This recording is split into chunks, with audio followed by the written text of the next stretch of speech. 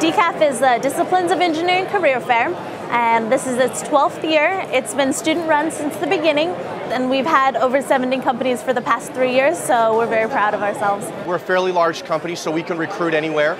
Uh, but we've targeted our recruiting to a very selected group of universities around the country, only a very small handful, and UCSD is one of them because we get such good students from them. How are you? Human? Tasia. Nice to meet nice you. to meet you. Copy of your Um, resume? This is my resume. Perfect. Yeah. And when we can come here and you know hire smart people and come on board, it's a big win for us. You know, UCSD is known in the industry for being one of the top schools as far as you know an engineering school. I guess being able to talk to a lot of the companies and seeing what they're looking for in terms of internships, in terms of what kind of skills that they need. That way I can work on kind of skills I need to be able to get a job. Last uh, DECaF, I met Boston Scientific, and they uh, told me about the company. I really, I really liked what I saw, and ended up getting an internship last summer. And uh, they have me doing all kinds of stuff in advanced research and development uh, in electrophysiology. And uh, by the end of the summer, we ended up cranking out uh, proof for a patent. Back. Thank so you. is your Cymer internship on your resume? It is. Nice. Yeah. Last year at DECaF, I found um, my internship at Cymer.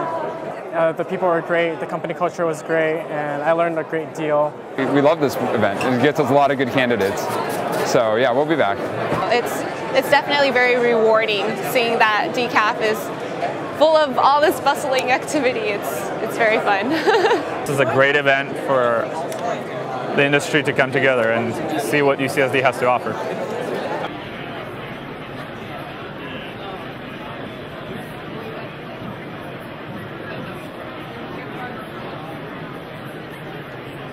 You put a bunch of computer science students in a room, they've all taken the same classes, their GPAs are all pretty much about the same.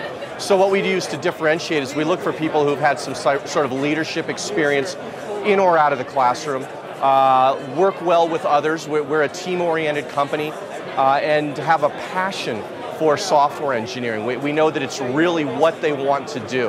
Uh, and then the obvious ones such as great communication skills.